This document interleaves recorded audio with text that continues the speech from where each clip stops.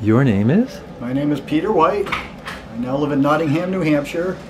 I used to live in Cape Cod, Massachusetts, where I ran for office as a Green Party candidate or an independent a few times. But the first time I ran for office, I was running for a state rep for uh, as a Green Party candidate, and Jill Stein was running for governor as a Green Party candidate. And but they weren't letting the alternative candidates in the governor's debate, even though there was uh, five candidates who were on the ballot. They only let the Democrat Republican in, and of course Mitt Romney was a Republican. So we you know did an action on the debate, and we got a hundred people outside. We were chanting and trying to get you know uh, attention to our cause, and all the, all the governor candidates should be included in debate. And I was there. I had a suit and tie on because I was a, a rep candidate.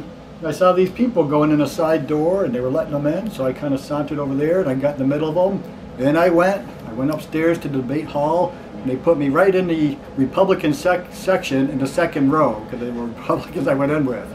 So I'm sitting there and the lights go down, the moderator starts talking and he says, okay, Mitt Romney will be the first candidate to speak. So as Mitt came up to the microphone, I just felt I, I, had to do something and I was nervous, but then I felt this calm come over me and it's like, yeah, this is the right thing to do. As Dr. King says, it's always the right time to do the right thing.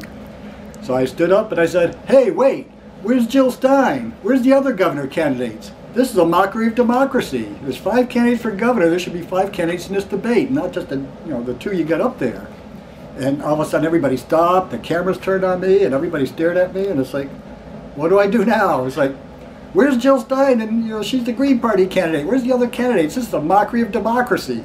I just kept saying it over and over again, and then this great big state trooper came in and kind of had to slide through the road to get to me, and he took me by the arm. He said, "Come with me, please." It's like, "Sure, officer." So I went out and I said, "I just exercised my, my freedom of speech, First Amendment rights." And they took me down. They let me out the front door. They let me go. So, but as a result, as I was leaving, Mitt Romney said, "Wait, he's right all the other candidates should be in here. You know, if they're on the ballot, they should be in the debates. It's like, you know, so the next debates, they had the other candidates in. It was Mitt Romney and four women candidates. So I think he wanted them included so they would divide the women's vote. And he did get elected governor. But they did include the alternative candidates in the debate, so I, I guess that was a mixed results effort. No, I think that's the best thing you could have possibly done.